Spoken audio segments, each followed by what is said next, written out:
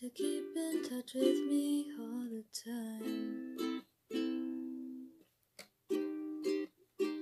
But the only way we can communicate is if we're